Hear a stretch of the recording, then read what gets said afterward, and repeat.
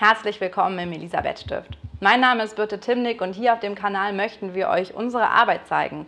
Und nicht nur, was wir machen, sondern vor allem, wie wir es machen. Nämlich mit der existenziellen Pädagogik. Also so lasse ich nicht mit mir reden. Du gehst jetzt in dein Zimmer und beruhigst dich. Es ist nie zu spät für eine glückliche Kindheit. Wie sehr achte ich auf die Bedürfnisse meines Gegenübers, auch wenn es nicht meine Bedürfnisse sind? Das ist uns wichtig, äh, Zeit zu verbringen in einer Art und Weise, die zu Begegnungen führt, die zu einer, hm, zu einer Beziehung letztlich führt, die über Krisen hinwegträgt.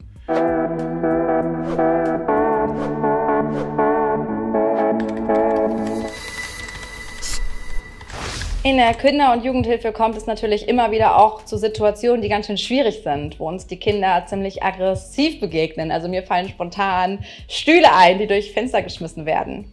Uns ist total wichtig, das Kind dann nicht auf dieses Verhalten zu reduzieren, sondern Kind und Verhalten zu trennen. Und wir möchten ganz genau hingucken, was ist eigentlich gerade passiert und warum ist das passiert.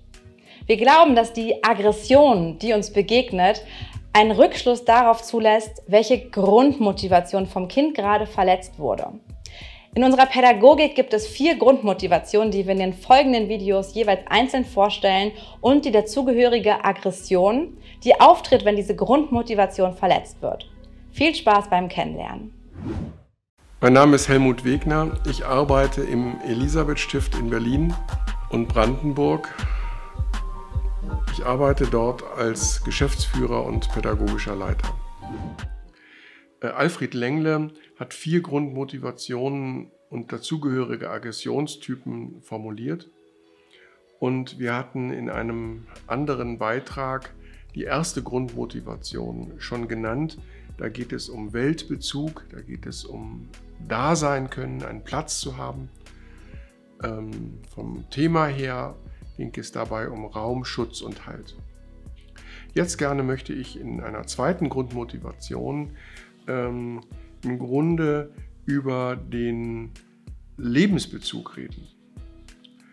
Ähm, es geht in dieser zweiten Grundmotivation äh, darum, sein eigenes Leben zu mögen. Wenn man da noch nicht ist, überhaupt leben zu mögen.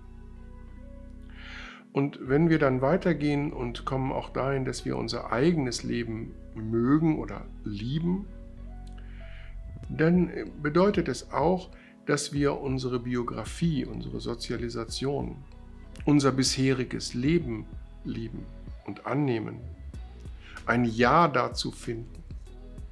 Viktor Frankl, von dem diese Pädagogik abgeleitet ist, von seinen Lehren ist diese Pädagogik abgeleitet, hat einmal gesagt, es ist nie zu spät für eine glückliche Kindheit. Und wenn wir uns in dieser zweiten Grundmotivation dem nähern äh, und wo es darum geht, äh, sich und sein Leben äh, zu mögen und zu fühlen, dann geht es in dieser zweiten Grundmotivation vom Thema her um Beziehung, Zeit und Nähe. So, und wenn wir uns das vorstellen, dass es in dieser zweiten Grundmotivation darum geht, dass wir Zeit füreinander haben, dass wir äh, uns in der Person und unser Gegenüber in der Person ernst nehmen.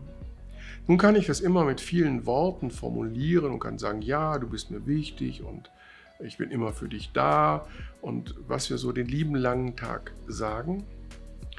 Und ähm, das erweist sich dann aber, die Ernsthaftigkeit oder der Grad der Umsetzung erweist sich aus meiner Sicht im Alltag.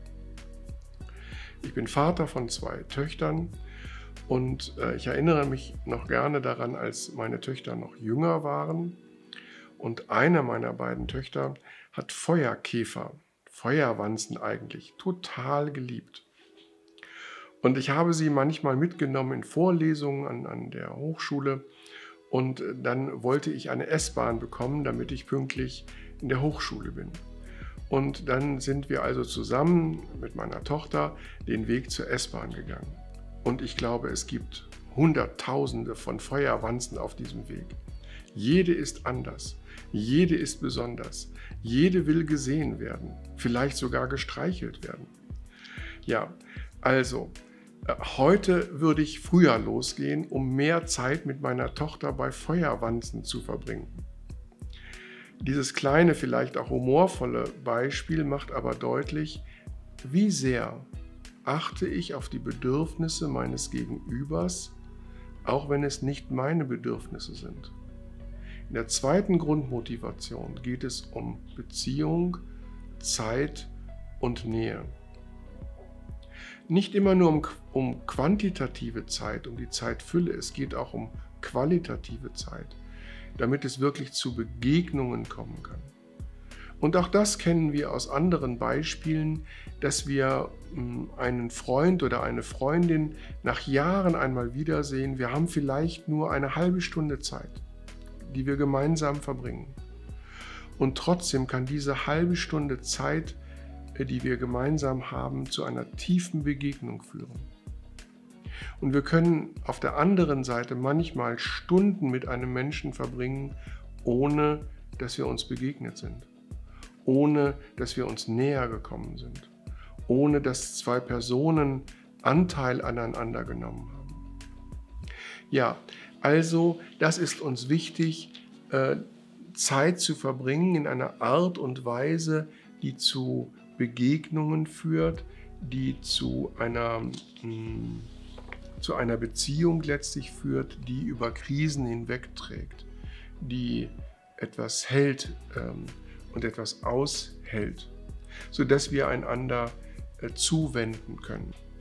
Und ähm, ich sprach in äh, der ersten Grundmotivation auch schon davon, dass, ähm, dass ein Mensch Aggression entwickelt, wenn er, wenn er etwas verlieren könnte.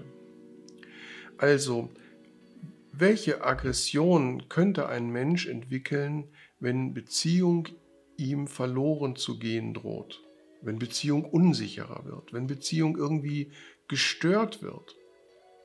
Das ist, glaube ich, eine Aggression, die wir sehr leicht einfühlen können. Es geht bei Beziehung immer um eine heiße Wut. So, wenn wir uns streiten miteinander, ja, dann ist viel Emotion im Spiel. Im Gegensatz zu der ersten Grundmotivation, da ging es um einen kalten Zorn. In einer äh, zweiten Grundmotivation entwickeln wir eine heiße Wut. Da fliegen die, die Emotionen hin und her, da brennt die Luft, wie wir sagen. Vielleicht fliegen Türen, vielleicht fliegen Schimpfworte. Hoffentlich nicht, äh, hoffentlich bleibt es bei der verbalen Attacke natürlich, ja. So.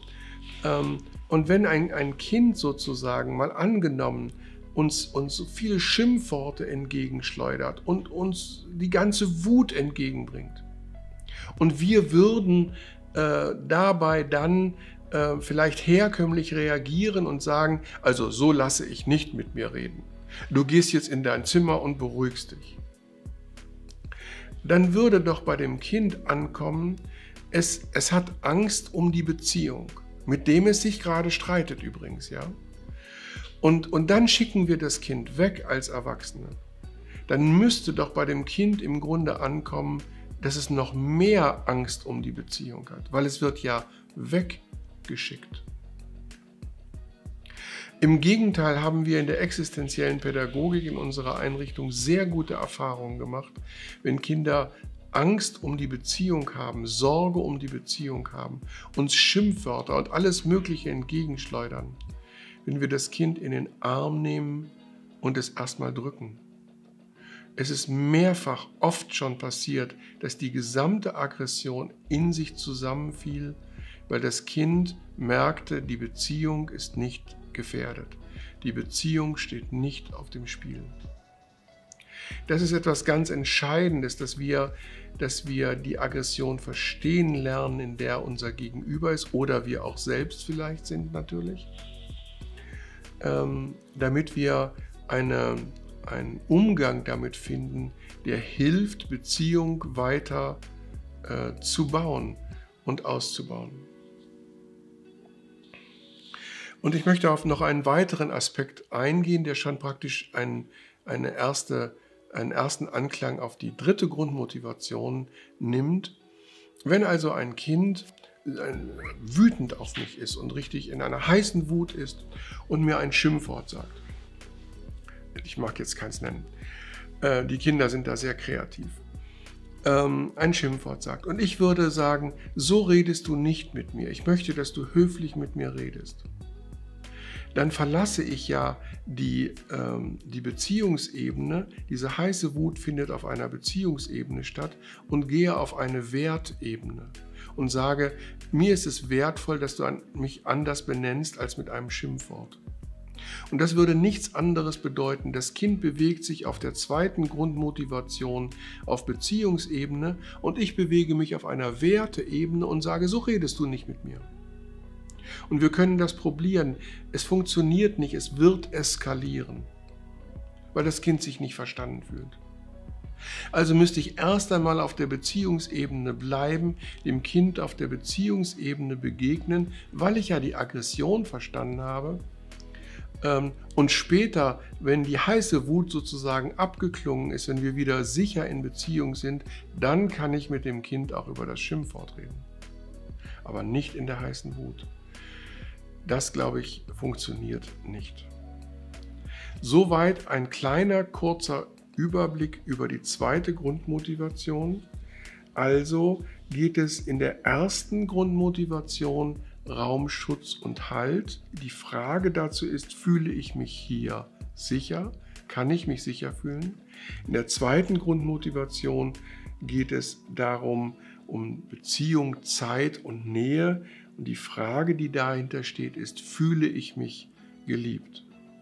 Wenn das nicht ist, entwickeln wir Aggressionen. Ich finde Aggressionen übrigens, ein kleiner Nachsatz, ganz toll, weil ich glaube, wenn ein Mensch aggressiv ist, will er leben. Er weiß nur noch nicht immer wie. Wer wissenschaftlich mehr erfahren möchte, findet unten in der Infobox natürlich jede Menge Literatur, auf die wir uns berufen. Beispielsweise findet ihr dort die Werke von Viktor Frankl, Alfred Lengle, Eva Maria Weibel und Robert Keegan, auf deren Gedanken wir unsere Arbeit und die existenzielle Pädagogik stellen. Ihr wollt mehr über das Elisabeth Stift erfahren, dann schaut direkt unser nächstes Video über den Träger an oder erfahrt mehr über die existenzielle Pädagogik. Natürlich findet ihr auf unserer Website viele weitere Informationen über uns und die Pädagogik und nicht vergessen, Kanal abonnieren und Glöckchen drücken.